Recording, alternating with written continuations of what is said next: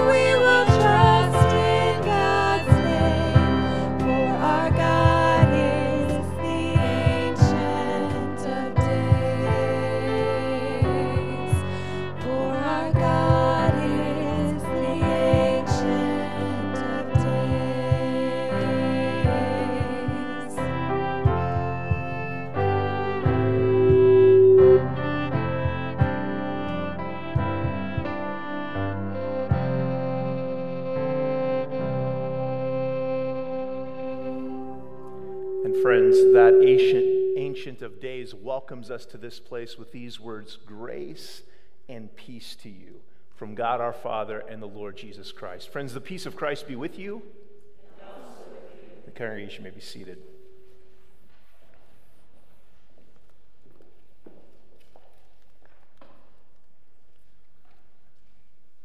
We sing to the Ancient of Days. And we recognize that as we sing, as we enter into God's presence this morning, that we do not live according to the way that God would have us live. We do not love God with all that we are, nor do we love our neighbor as much as we love ourselves. And so we find this need uh, to come clean before God. And so we confess our sins using the prayer of confession that's printed in our bulletins this morning. The words will also be on the screen. We'll pray with our eyes open. Would you please join me as together we pray the words that are in bold font? God of Sabbath, in Jesus, you have given us a bold example of what it looks like to live the life you created us for and called us to live. We confess that we have not lived into your intentions for our design. We have not fulfilled your calling. We often seek out power and control to get our way rather than seeking ways to serve our neighbors. We fiercely hold to our judgments of right or wrong good or bad, withholding the grace you so freely extended in Jesus. We so easily let our differences divide us, damaging our relationships and washing our hands of one another, ignoring the opportunities to strengthen our witness in the world.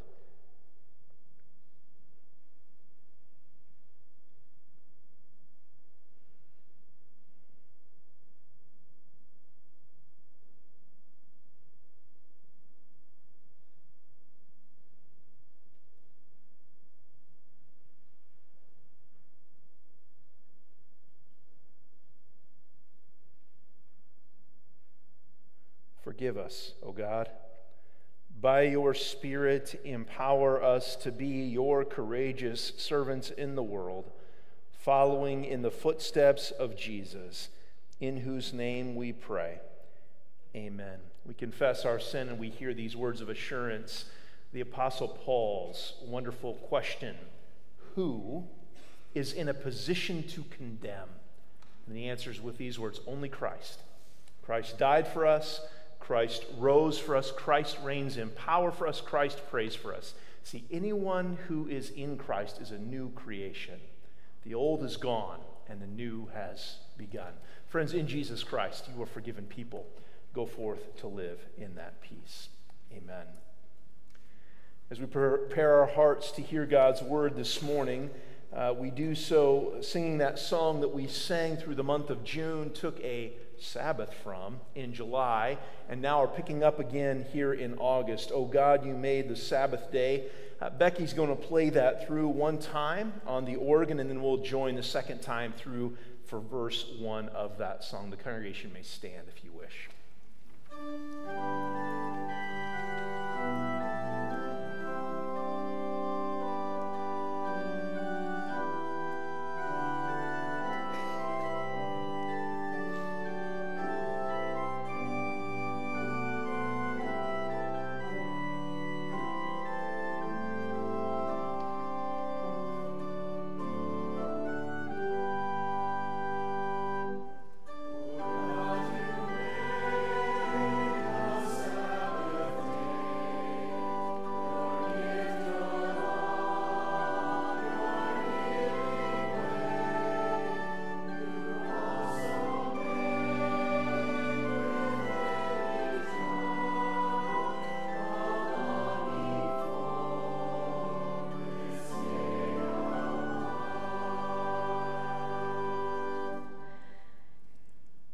Indeed, O oh God, you made the Sabbath day just as you made each and every day. And so, in the midst of this day that we've set apart in a way to worship you, to gather with your people, help us see and experience the full kaleidoscope of Sabbath in your word.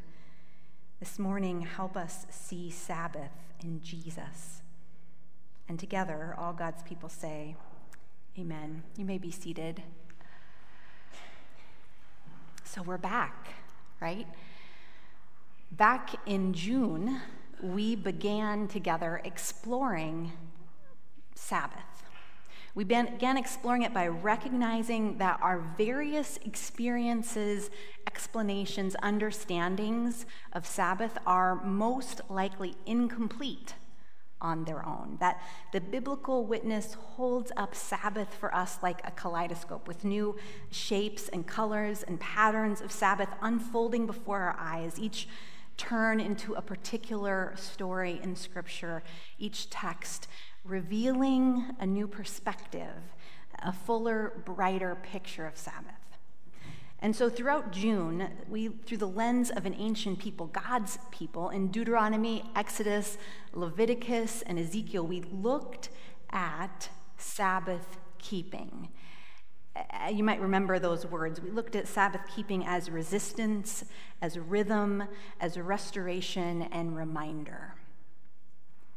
Now, as Mike and I return from something of an extended Sabbath, we return to the topic as well. And this time, we return to it through the lens of Jesus' life and witness. Through Jesus in the month of August, we see even more practically how Sabbath keeping calls us into Sabbath living 24 7 in relationship, revelation, risk taking, and resurrection. And so we begin. We begin where the New Testament begins in Matthew's Gospel, chapter 12, verses 9 through 14. Hear the word of the Lord. Jesus left that place and entered their synagogue. A man was there with a withered hand. And they asked Jesus, Is it lawful to heal on the Sabbath? So that they might accuse him. Jesus said to them, Suppose one of you has only one sheep and it falls into a pit on the Sabbath. Will you not lay hold of it and lift it out, how much more worthy is a human being than a sheep? So it is lawful to do good on the Sabbath. Then Jesus turned and said to the man, Stretch out your hand. He stretched it out, and it was restored, as sound as the other. But the Pharisees went out and conspired against him how to destroy him. This is the word of the Lord. Thanks be to God.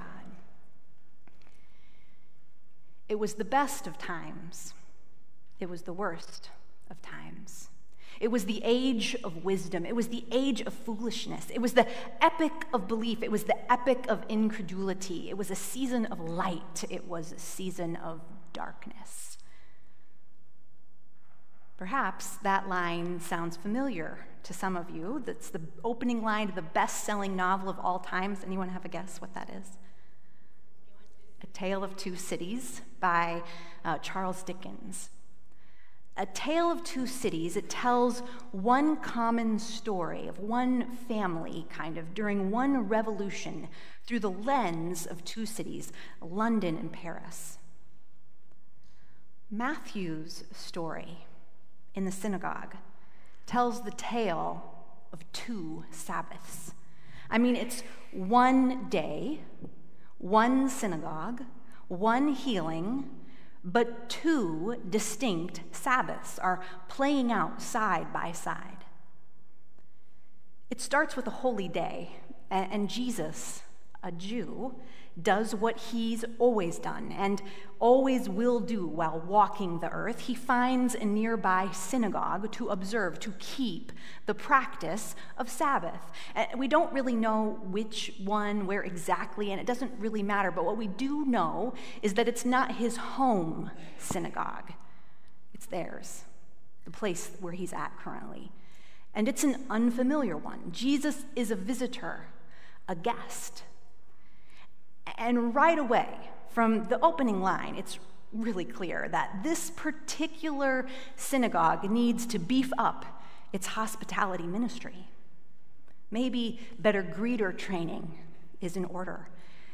Because the synagogue leaders and other devout followers standing around, they see Jesus enter, and rather than offering him a warm welcome or exchanging names, pointing out the restrooms, or, or offering to answer any questions he might have about their ministry, they make their first impression by abruptly, even a bit accusingly, throwing out a gotcha question on his theology. Before he even is able to grab a name tag or uh, find the coffee bar, someone lobs a question at him Is it lawful to heal on the Sabbath? During my first few days of orientation as a graduate student in the Master of Divinity program at Western Theological Seminary, a classmate I hadn't met yet sat down next to me during a coffee break. I thought perhaps he was going to introduce himself to me, but instead, the first words out of his mouth were So, do you really think it's okay for a woman to be pastors? Now, I've fielded this question and its variations too many times to count since then. My favorite, though, was in the midst of an actual interview for a pastoral position when someone asked, How do you biblically justify being a woman and a pastor? I've been asked gotcha questions like this to biblically justify my position on all sorts of things, not just gender, but infant baptism communion participation, sexuality, marriage, reproductive health, tithing, voting, and more. And you see, we use, all of us, even me, we use gotcha questions as litmus tests, don't we? The answers help us define and categorize one another. Each person can go into a nice, neat little box based on their answer. Right Christian here, Wrong Christian there. Litmus test questions are really asking just under the surface are you the kind of Christian I'm willing to be in relationship with? Is it lawful to heal on the Sabbath, Jesus? Was a litmus test question. It was designed to expose Jesus as the wrong kind of Jew. The kind of Jew who didn't really follow God's word, the kind of Jew who didn't really even, maybe couldn't even be called a Jew. And what really made this litmus test question a real on the spot gotcha question is that there was someone standing nearby whose hand was apparently atrophied and, and unusable and malformed. And these leaders, these devout followers of God, didn't see a person who struggled with maybe daily tasks like getting dressed, or who was limited in the work he could do for a living, or maybe who couldn't even hold a grandchild or a child. They didn't see a human being made in the image of God standing there in the crowd just off to the side. They saw a tool to be used, a point in their agenda, a means to an end. After all, you see, they already knew. They already had heard about all the other times that Jesus had healed others on the Sabbath before. And now they wanted some sort of proof text from the law to justify his position on Sabbath healing, so they exploited the man's presence and his struggle, his withered hand, with a strategically timed question, and maybe even, just in case Jesus hadn't seen him over there, a little side eye to Jesus so that Jesus would take the bait. Uh, how can you, Jesus, even justify healing on the Sabbath? Show us where that's condoned in the law. And Jesus, Jesus almost never answers a question the way it's intended. And that's no different here. he asked them a question instead. If you have one sheep and it falls into a pit on the Sabbath, will you set it free? It's a rhetorical question, you see. Jesus already knows the answer is yes. So he continues on. I think we can agree that a human being, and I imagine here Jesus with his own exaggerated side eye and head bob to remind them that the person that they just used as a tool in their agenda is actually a human being. I think we can all agree that a human being is much more valuable than a sheep. And he adds in answer to the question they didn't even ask it is lawful to do good on the Sabbath. This is a tale of two Sabbaths. It's one day, one synagogue, one healing, but a tale of two Sabbaths playing out side by side. One Sabbath was the Sabbath God's people knew and observed their whole lives long up to this point. You see, by the time that Jesus, God with us, walked the earth, the Jewish people, God's people, were citizens of a melting pot empire of sorts, having to intermingle side by side with Gentiles, non Jews, neighbors, rubbing shoulders with neighbors, people from diverse cultures and customs and creeds, even people who, at one point in history, had been their sworn enemies. Long gone, but still hoped for, were the days when they were safely tucked into the borders of their own nation, defined by one singular and shared culture, custom, and creed, segregated from non Jews and Gentiles. And now, as citizens of a diverse empire, they had assimilated and adapted their language, their money, their taxes, their politics, and more under the umbrella of a ruling empire. And with so much, they had to change. Keeping the Sabbath, observing Sabbath, had become arguably one of the most important defining markers of their identity. Their neighbors would know they were Jews by their devout Sabbath practice even if they had to be good citizens of someone else's empire. Come sundown on the sixth day of the week, it became clear that they were set apart, that they were most definitely still good Jews, that they were God's people following the right rules. Scholar Dr. Donald Hagner described it this way in his commentary of the story. Many have argued that the Sabbath law became the most important law for the Jews in terms of their sense of identity as a people. The command to do no labor on the Sabbath was one of the Ten Commandments given to them by God. So no one questioned its importance or its validity. The only question was how rigorous should one be in making certain that the day was not desecrated, since there was minimal scriptural direction peppered throughout their scriptures detailing exactly what qualified as labor. So, in a quest for clarity, Jewish leaders sought to interpret and define the expectations for keeping the Sabbath day holy. I'll give you an example of how this interpretation and clarification process of the Sabbath law played out. And it's actually not much different than how our interpretation and clarification of Scripture plays out. In Jeremiah 17, part of their scripture, the prophet proclaims, Do not bring a burden into the gates of the city or out of your houses on the Sabbath day. Hear that again. Do not bring a burden into the gates of the city or out of your houses on the Sabbath day.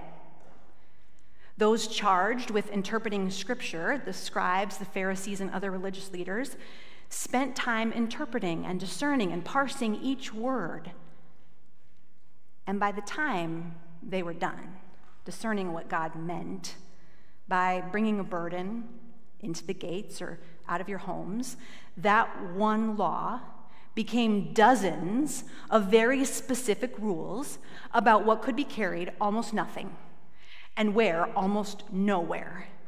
And so, likewise, in that same vein, when we think of labor, helping someone who was actually dying was justified as they interpreted and discerned, but healing someone was forbidden if they were not actively dying. That was interpreted as labor.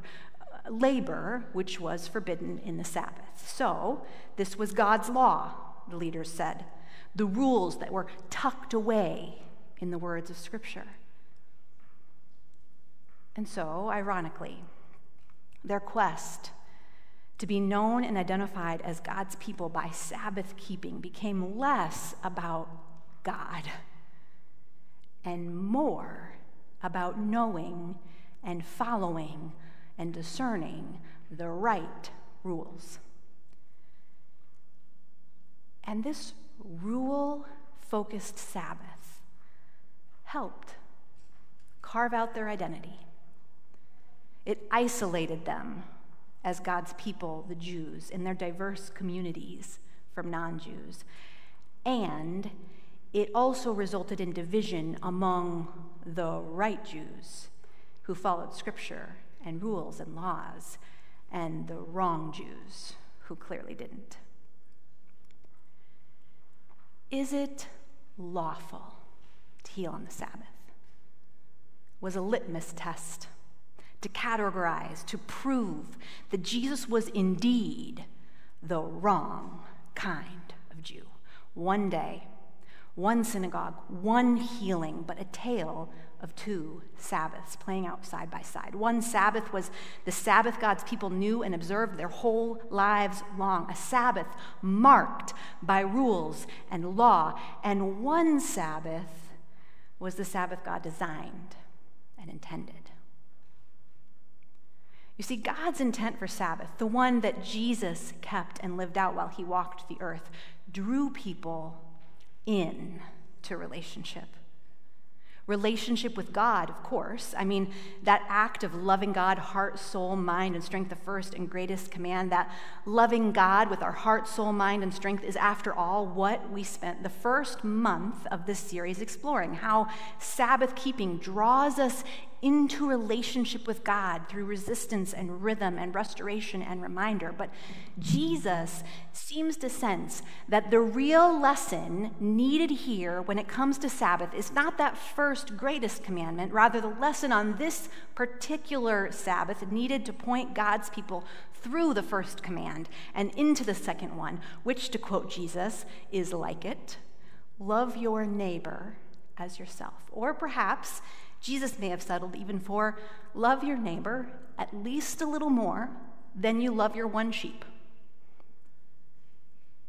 So on that day, in that one synagogue, when asked to justify his position against the law of God that said healing was only allowed if death was near, Jesus didn't do it. He didn't justify, defend, proof text, or anything. Instead, he spoke of human worth and dignity, doing good. And then Jesus healed the man, the human being made in the image of God. Stretch out your hand. And let's be clear this wasn't some life or death emergency. There was no debate here on if it was. This man had a withered hand yesterday, and the day before, and the day before that. His other hand worked just fine. By all accounts, he was an able bodied person in every other way.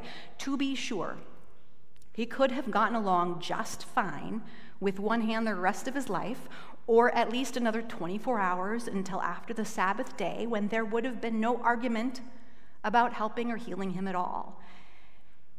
Yet Jesus saw him, him, not as a tool or an agenda, but as a human being made in the image of God, being used by someone else.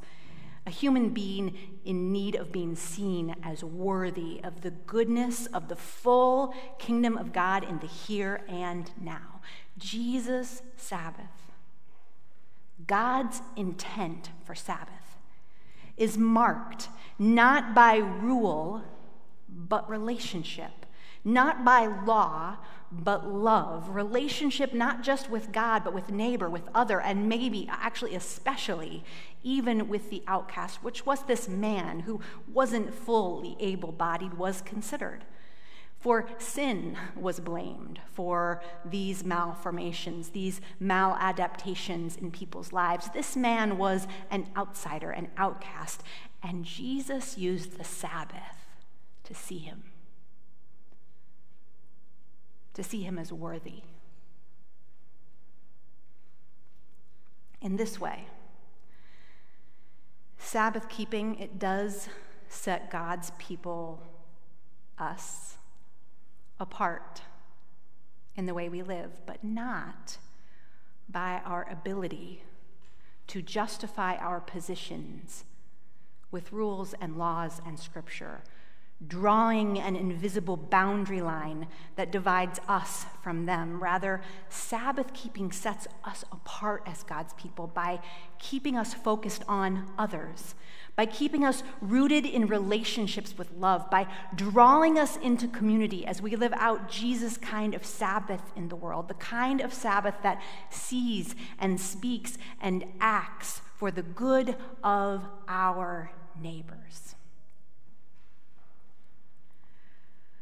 Richard Rohr points out that the religious people in Jesus' day who pushed back against Jesus the most were people who were more concerned with getting the rules right, with orthodoxy, than relationships, more concerned with the rules that others were and weren't following and ascribing to than the good of their neighbors. And biblical scholar and theologian Eduard Schweizer wrote of this healing story Jesus' words and actions relay that truth writing, There is no escape from the importance of human worth, nor is there any justification for legalism which, merely for the sake of orthodoxy, fails to do good for another and therefore produces evil. It's the tale of two Sabbaths.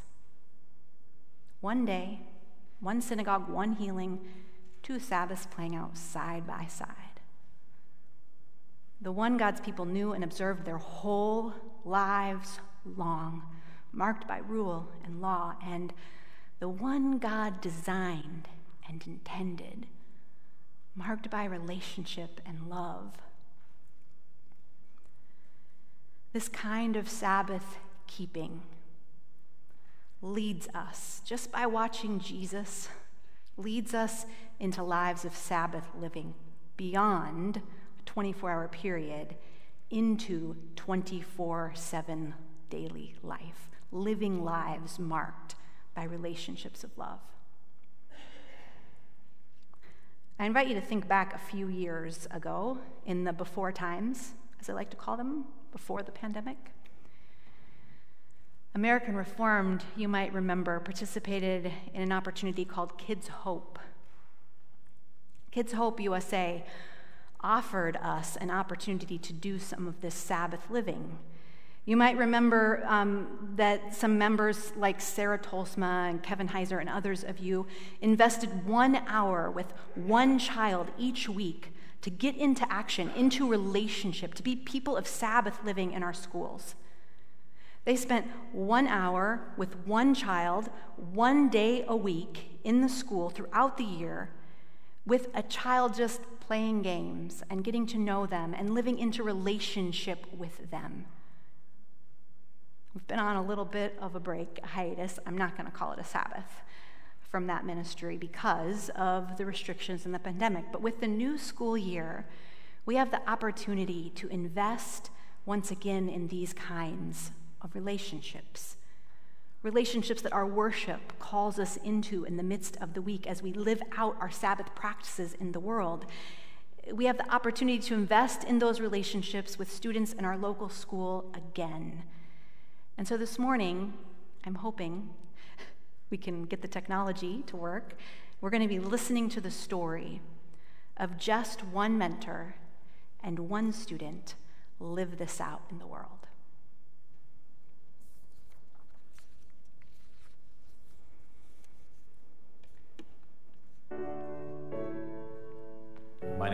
Richard Olivares, and I am here because I'm a mentor at Kids Hope with my mentee, Danny Samayoa, who's 11 years old, and I've been with him since he was in fourth grade. He's now in sixth. Kids Hope is a one-on-one uh, time with uh, kids at Eagle Rock Elementary. It's just time to, to spend with a, a kid that might need a little bit extra attention or help in a specific area. Just one-on-one time, getting to know each other, and uh, just showing someone that you care about them, and just show up regularly once a week and just hang out with them. Kids Hope is a place like where if you need a role model, there's a mentor that you can get paired up with. What I like to do with Richard is we play basketball a lot.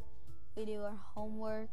I didn't know what to expect. Uh, there was a lot of fear going into it. Um, I didn't grow up with a lot of kids around, so I didn't know how I was going to interact with a, a kid. When the first time I met him, he had this scary mustache. And then after that, like, I was kind of scared of him. I kept my distance. The first year, uh, we focused on making a list of what we were going to do every day. So we, we said, okay, we're going to do this for fun, uh, we're going to do this for schooling. The first thing on our list every week was be awesome. And so we'd write be awesome, and we check it off right away because we were being awesome. And then we'd, you know, playing basketball, we'd play Mancala, we'd play chess. It's really cool because, like, I needed help on homework, and when I get home, there's no one really to help me with homework. My grandma doesn't know how to speak English. My grandpa doesn't. Like when I met Richard, like it was really easy. It was like one lesson a week, and that week he helped me. It's really cool. Danny and I both have a background where we don't have a, a father in our lives, and we both talk about what it's like to kind of grow up without that. And yeah, it's something we've been able to talk about openly together. The communication between us is just very truthful, and there's no hiding or we just talk about it, and it's great. And I've learned from him like how to become a better person, what you can do instead of like using physical stuff, how to use words and just ignore people if they do something to you. Kids Hope has affected me tremendously. I realize how the little things matter. Little encounters with people can make a big difference. Yeah, I just show up and he's like, this is the greatest thing in the world. And he makes me feel like I'm the best mentor in the world. And yeah, I'm actually getting married this, uh, this summer. And uh, Danny doesn't know it yet, but I'm going to ask him to be uh, one of my groomsmen in my wedding. We're, we're that close. He's, he's just wonderful. Just, it's such a simple thing, one hour a week. Why not? That's, that's great. Just make a big difference in a kid's life. How, how, how could I say no to that? So along with that, Danny, you know, I told you what a groomsman was. Yeah. The best friends from like all of your life. Yeah. Who's going to be part of? Who's going to stand up there with me when I get married? Yeah. I want to see if you want to be up there with me and be one of my Really? groomsmen. Yeah. Really? Yeah. Awesome. You want to do it? Yeah. Awesome. Sweet man.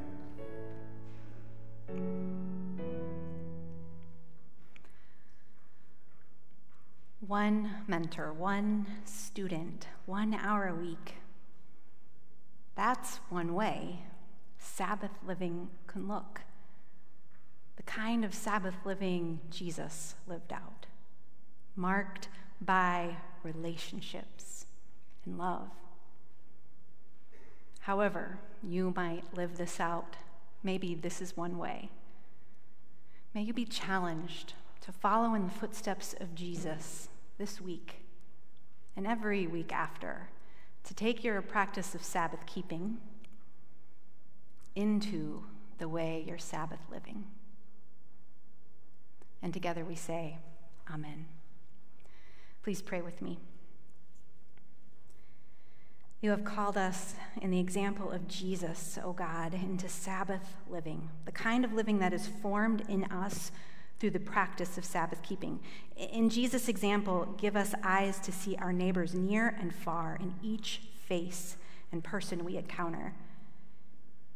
May we put aside our own agendas and embrace yours as we learn to seek the good for each person that crosses our path. And especially, oh God, may we receive that goodness and carry it with us the goodness of your grace in Jesus through this table throughout the week. It's in your name we pray, and together we say, Amen. Indeed, this table, this table is a sign of Jesus' love. The way that Jesus gathered those disciples around the table, those he was in closest relationship with, to model for them the kind of life to live in the world. That's how we come to this table. This table is for everyone. If you are here, you are invited to participate. This morning, if you didn't receive um, those communion cups and wafers when you entered in, I invite you to raise your hand right now. And our elder Jenny is in the back, and she'll bring you one of those. So make sure you raise your hand high so she can see you. And as we come to the table, we usually do so through prayer. This morning, our prayer is sung sung to us through the song All Belong Here. The worship team will lead us and direct us to sing when invited to do so. We remain seated as we pray these words through song to God in preparation.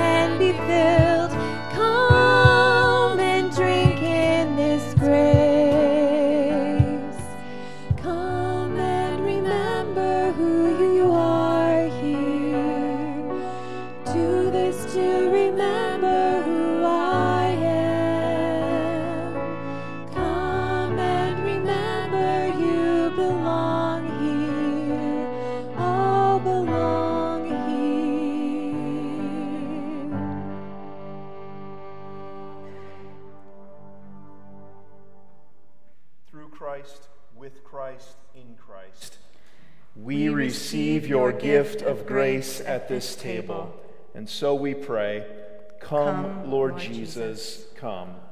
Amen.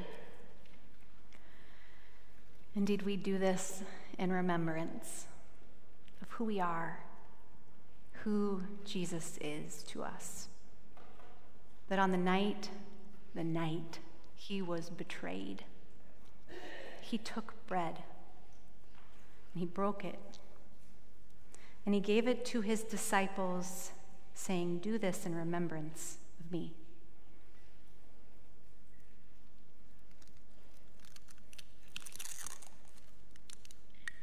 The body of Christ broken for us.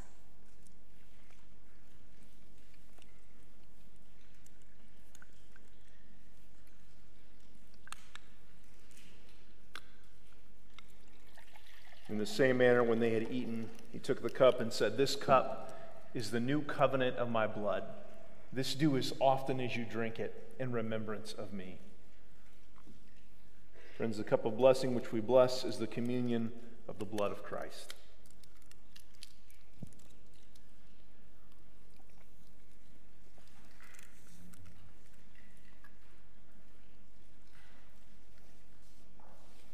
The psalmist speaks our words of thanksgiving in these ancient words Bless the Lord, O my soul, and all that is within me. Bless God's holy name.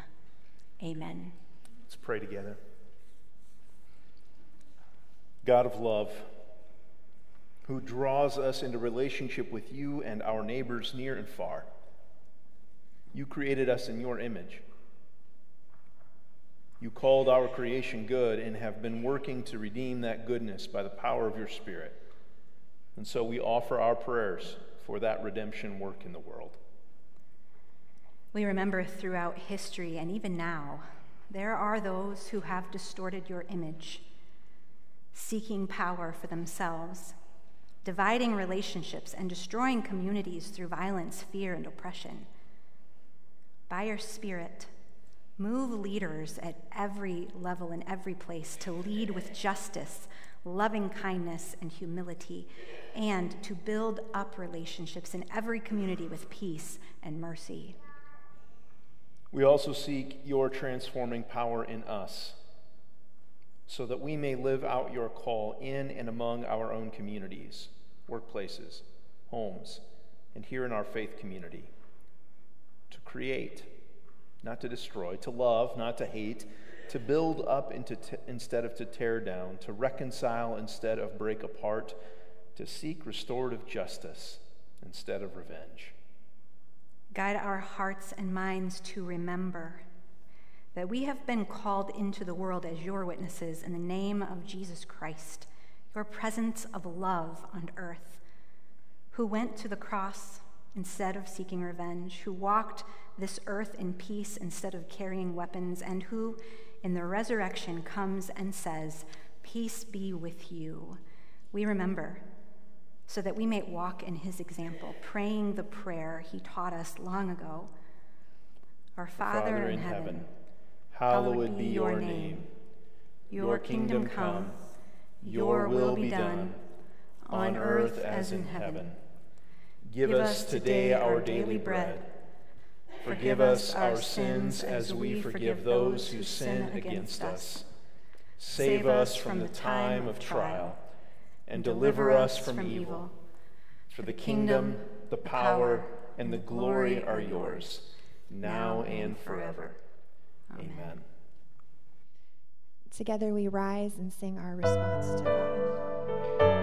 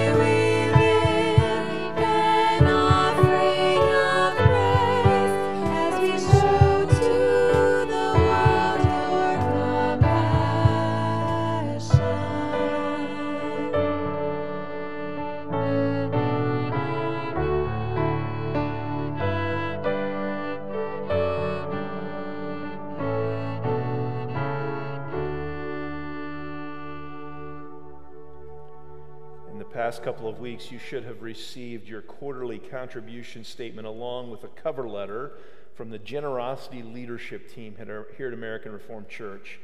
And you may remember that in that letter, there was a story told that I think needs to be told again. It's a story of some college students from Northwestern College who began worshiping at American Reformed Church last semester. And after a very difficult week on campus, a, week in which uh, a social media platform was used to hurl racist remarks towards other students and faculty members. These students came to worship, and that very reality was named in this place. Those students, after worship, were gathered in the back, and after uh, adult discipleship and Sunday school, uh, we were downstairs. And as they were leaving, we, we exchanged pleasantries. And one of the students said this Thank you for being a church that talks about hard things. And we are. We're that kind of church. We're the kind of church that talks about hard things. And we talk about them not because we necessarily want to, but because we believe the gospel of Jesus calls us to talk about hard things. We are so grateful for the way that you invest in the ministry and mission of this church that we might be transformed by Jesus through those hard things uh, in order that we might transform the world. We're grateful for your generosity. You may give through the tithes and offerings uh, box located in the back. You may also give online on the church website. You may also mail your gifts to the church office. Know that from the bottom of our hearts, we are grateful for your generosity. And another way to contribute to get into action in ministry here is one that was introduced in the sermon um, through the participation of Kids Hope USA mentorship program, which you're trained for. Um, but honestly, it's really just about showing up and being in relationship. So, um, not real difficult, not a lot of training needed to do that, right? If you're interested in that, you're going to hear a little bit more about it throughout August. Um, but you can already reach out to Lizzie. She's right there in the back um, anytime today or send her an email, um, get in touch with her, and she can answer any questions as you're considering participating in that opportunity. High school students, you know that tonight at 7.30 to 8.30 there's a special night of playing yard games uh, with Lizzie and Rosalind, and uh, that was supposed to be at Lizzie's house. It's now being moved to the church. So tonight at 7:30 to 8:30, high school students are invited to be here. Uh, I understand that Lizzie and Rosalind play a mean game of Yard Connect 4. So uh, high school students, please uh, join them for that tonight, 7:30 to 8:30 here at church. And that's the incoming high school students too, right? So it's like maybe you haven't stepped foot inside the school as a freshman, but you are a high school student, so you're invited to that as well. Friends, as we go out into the world to live out Sabbath in our lives 24 7. May you have these words ringing in your ears the love of God, the grace of the Lord Jesus Christ, and the fellowship of the Holy Spirit be and abide with you now and always. Amen. We sing together what we did during June, a cappella, Be Still and Know, as our sending song throughout August. Be still